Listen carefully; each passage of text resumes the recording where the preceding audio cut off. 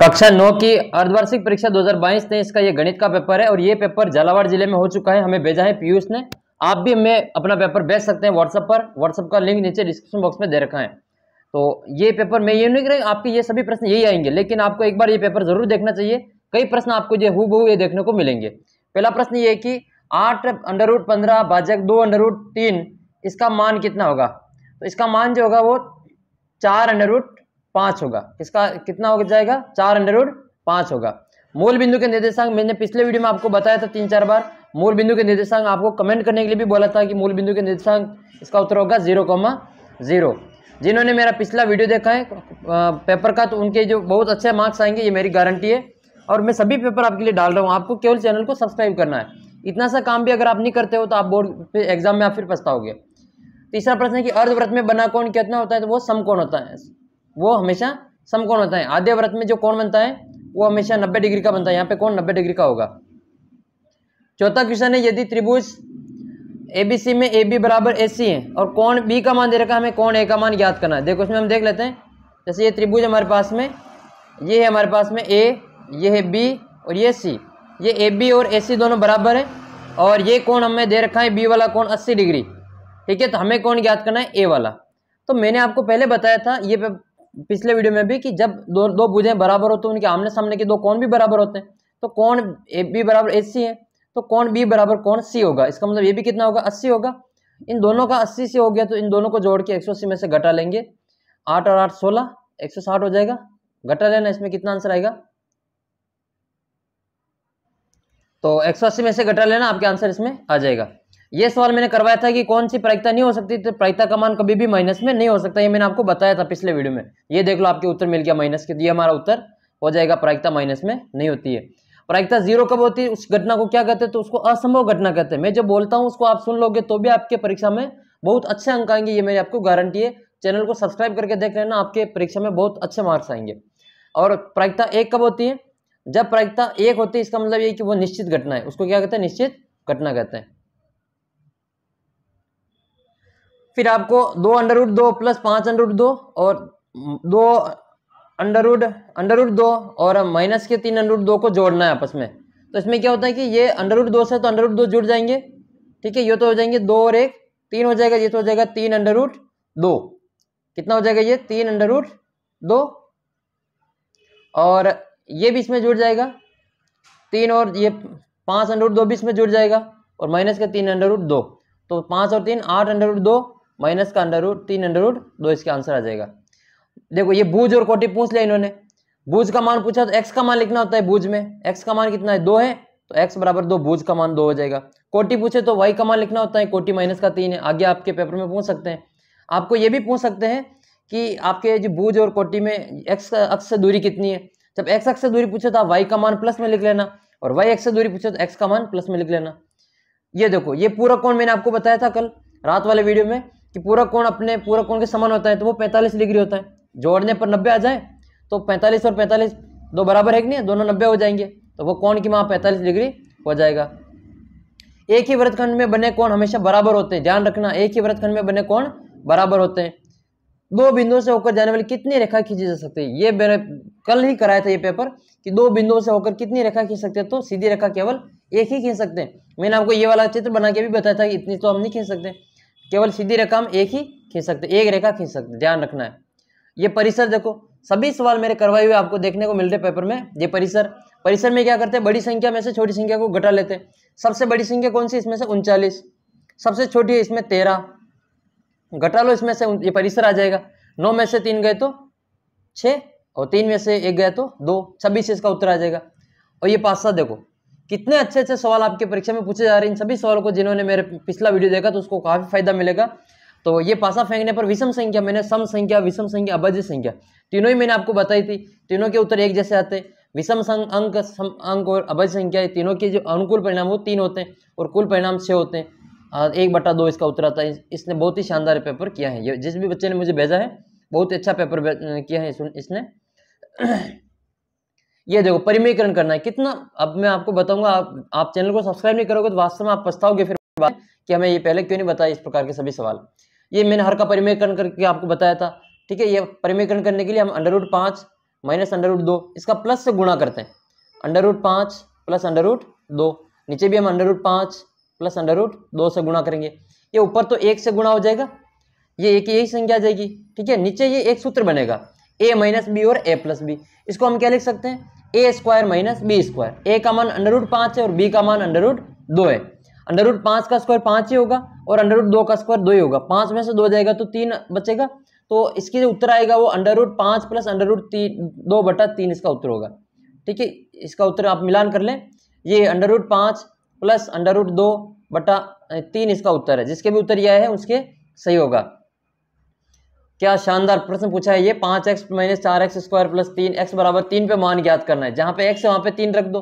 देखो, पाँच इंटू तीन माइनस चार इंटू तीन का स्क्वायर कर दे, नो डायरेक्ट ही तीन का स्क्वायर में नो लिख रहा हूँ, यहाँ पे ध्यान रखना। और प्लस तीन, ये तीन, पाँच तीन पंद्रह हो गए। और ये नौ चौक छत्तीस और प्लस तीन। और पंद्रह में तीन जोड़ दो, अठारह हो जाएँगे। तो अठारह माइनस छत्तीस अठारह में से छत्तीस घटाओ, माइनस के अठारह उत्तर आए होंगे इसमें आपके। जिसने भी ये पेपर भेजा है, आप मिलान कर लेना, माइनस के अठारह उत्तर आएँगे दसवें में। ग्यारहवा क्वेश्चन अब ये देखो, कितना शानदार क्वेश्चन है ग्यारहवा। माइनस का चार और छः एक्स ये छः किस अक्ष पे स्थित है? तो ये छः ये छः किस अक्ष पे स्थित है? अच्छा छः की किस अक्ष से दूरी है? तो ये एक्स अक्ष से दूरी है, मैंने कल आपको बताया था, जब भी एक्स अक्ष से दूरी पूछे तो वाई का मान। वाई एक्स से दूरी पूछे तो एक्स का मान, ये छः देखो छः किस अक्ष से दूरी तो ये इस बच्चे ने सही लिखा है एक्स अक्ष से दूरी है। शानदार पेपर हुआ इस बच्चे के, जिसने जो पेपर मेरा देख लिया है, इसलिए इसके। पाँच और दो की एक्स और वाई का मान बताना ये लो एक्स बराबर पाँच और वाई बराबर दो। एक्स का मान बूझ होता है और वाई का मान कोटी होता है, ये कितनी बार मैंने आपको बता दिया। ये वापस पूछा देखो, पाँच कोमा माइनस दो एक्स अक्स दूरी, ये प्लस का दो होती शाबाश, बहुत अच्छे किया इस बच्चे ने पेपर मैंने बताया था कि उत्तर ये दूरी कभी भी माइनस में ले लिखते और इस बच्चे ने बिल्कुल सही किया, इसके प्लस के दो इसमें सही है। आप भी परीक्षा में पूरे में से पूरे नंबर प्राप्त करेंगे। मेरी गारंटी आपके बोर्ड एग्ज़ाम में आप अस्सी में से अस्सी नंबर लाओगे। आप तो केवल चैनल को सब्सक्राइब करके देख लेना। मैं सभी पेपर आपको हल करवा दूँगा, पूरे में से पूरे नंबर लाओगे। ये देखो इसमें दो हो जाए और ये देखो, ये अब आप कहोगे, ये कब करवाया? ये एक्स अक्ष पर स्थित बिंदु की कोटी लिखनी है।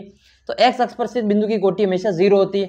मैंने गला फाड़ फाड़ कर मैं सबको आपको बताया था। फिर भी आप जो चैनल को सब्सक्राइब नहीं करते हो, फिर पछताओगे कि हम फेल हो गए। तो चैनल को अभी सब्सक्राइब कर लो, फ़ायदा मिलेगा, मैं कह रहा हूँ अभी। एक्स अक्ष पर स्थित बिंदु की कोटी ज़ीरो होती है, ध्यान रखना। एक कोण अपने पूरक कोण का आधा है तो उस कोण का मान ज्ञात करना है। तो एक कोण अपने पूरक कोण का आधा है तो ये हम देख लेते हैं, एक कोण वह अपने पूरक कोण का आधा है तो जोड़ कितनी आएगी? नब्बे। ये कोण और ये इसका आधा, दोनों की जोड़ नब्बे आएगी, गुणा कर लो इधर। नौ दोनी अठारह, एक सौ अस्सी। एक्स प्लस एक्स कितना हो जाएगा? एक्स प्लस एक हो जाएगा टू एक्स एक मिनट रुको।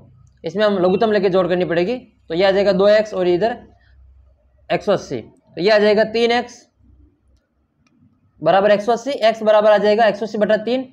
एक्स का मान कितना आएगा? साठ डिग्री। तो एक कौन तो एक्स साठ है, दूसरा कौन साठ बटा दो हो जाएगा। यानी कि तीस डिग्री हो जाएगा। और दोनों को जोड़ करके देख लो, पूरक कौन आ जाएँगे? एक साठ, इसका आधा तीस। नब्बे आ गए पूरक। बहुत आसान शानदार। एक क्रिकेट मैच में एक खिलाड़ी बल्लेबाज ने खेली गई तीस गेंदों में से छह बार चौका मारा है। तो चौका न मारने की प्रायिकता ज्ञात करें, बहुत आसान है। चौका मारने की संख्या इसको कम कर दो। टोटल तीस इसमें से चौका मारने की कम कर दो तो न मारने की आ जाएगी। चौबीस, और कुल परिणाम कितने? तीस, अनुकूल परिणाम चौबीस है न मारने के, और कुल परिणाम तीस है। छः के पार से इसको काट दो डायरेक्ट ही ये छः चौक चौबीस और छः पंजे तीस। देख लेना इसका उत्तर चार बटा पाँच आया होगा, जिसने पेपर किया उनके।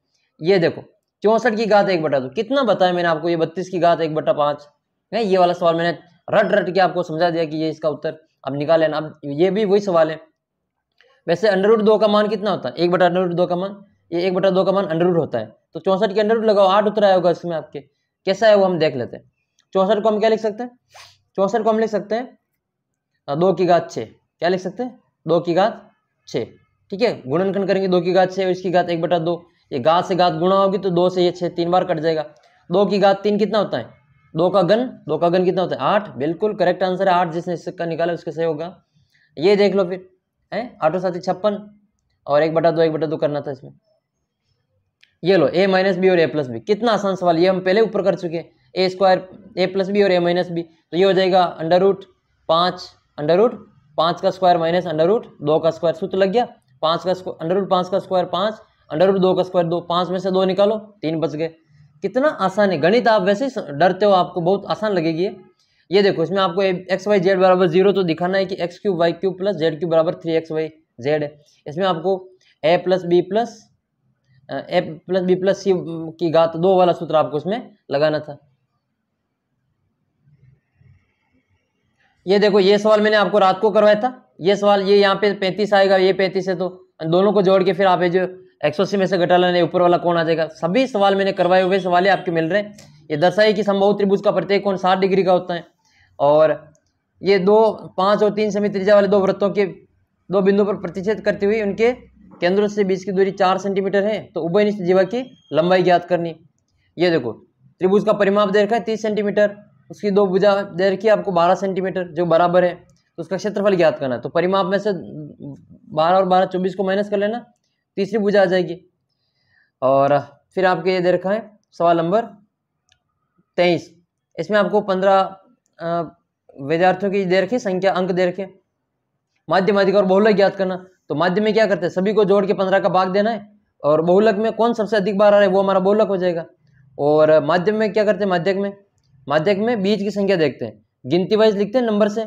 छोटी संख्या पहले, बड़ी संख्या बाद में। फिर जो बीच में संख्या थी, वो हमारा माध्यक होता है। करना इसको ये देखो चित और पट वाला। क्या शानदार पेपर है जिसने मेरा पिछला वीडियो देखा होगा उसकी बिल्कुल मैं गारंटी देता हूँ कि पूरे में से पूरे नंबर आएँगे उसके। ये देखो तेईस तीन बटा तेईस ठीक है तो ये कुल कितने? कुल है दो सौ। इसमें से आपको आ, दो बार चित आने की तो दो बार चित आने की कितने? बहत्तर। तो ये दो बहत्तर बटा दो सौ आ जाएगा। ठीक है काट लेना इसको। तो ये एक और पेपर हम देख लेते हैं ये दो तीन क्वेश्चन गुणनखंड करना ये A square minus B square का सूत्र लगेगा। ये A cube plus B cube का सूत्र लगेगा। गुणनखंड करने डायरेक्ट ही ये मैंने करवाया था बारह एकम बारह वाला। चार और तीन वाला, ये मैंने करवा रखा बिल्कुल सभी सवाल। पिछले वीडियो जाके देख लेना, जिसको विश्वास नहीं होता। ये देखो त्रिभुज का रचना वाला बी सी और बी दे रखा और ए बी प्लस ए सी का मान तेरह है। सारे के सारे वही सवाल है जो हमने पिछले वीडियो में किए हैं। तो गारंटी देता हूँ, अगर आप जो चैनल को सब्सक्राइब करेंगे और व्हाट्सअप ग्रुप में जुड़ जाना, सभी आपको जो पेपर वहाँ पे मिल जाएँगे और सभी पेपरों में डालूँगा आपके सभी विषय के। आपके पास में भी कोई पेपर हो तो मुझे व्हाट्सअप पे भेज देना। और आपको आज का पेपर कैसा लगा मुझे कमेंट करके ज़रूर बताना। ये मतदान पेटियों वाला देखो, विधानसभा वाला, कितना शानदार क्वेश्चन ये सभी क्वेश्चन मैंने रात को करवाए थे और ये आपके वापस पेपर में आज आ गए। तो जिनके भी पेपर बाकी है, ये मेरे रात के और ये दोनों तीनों वीडियो आप ज़रूर देख लेना। आपको काफ़ी फ़ायदा मिलेगा। और मिलते हैं आपको अगले वीडियो में। तब तक आप चैनल को सब्सक्राइब करके वीडियो को अपने दोस्तों के साथ में शेयर कर दीजिए।